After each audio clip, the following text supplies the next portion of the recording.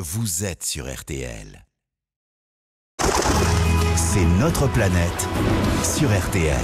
Virginie Garin. Bonjour Virginie. Bonjour Jérôme, bonjour Marina, bonjour à tous. Bonjour Virginie. Oui, les polluants qui nous entourent ont bien un impact sur notre corps, même s'ils sont en quantité infime. Une étude publiée hier par une chercheuse française de l'INSERM montre que lorsque les bébés respirent et touchent des polluants chimiques, il y a un impact sur leurs poumons. Oui, alors l'étude a porté sur toute une série de polluants de la vie quotidienne qu'on trouve dans les poêles à frire, les cosmétiques ou certains emballages alimentaires.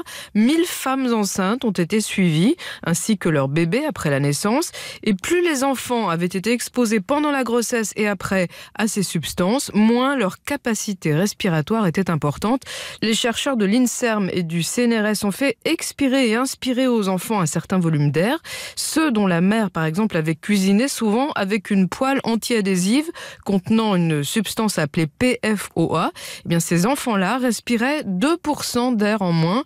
Alors ça ne veut pas dire qu'ils vont tomber malades, mais ça montre qu'il y a un impact sur le corps. Alors même si les fabricants vont vous dire qu'ils respectent la loi et que les quantités de substances chimiques sont infimes, quand vous ajoutez toutes ces petites pollutions contenues aussi dans les peintures, les meubles, les moquettes, vous obtenez un cocktail suspect.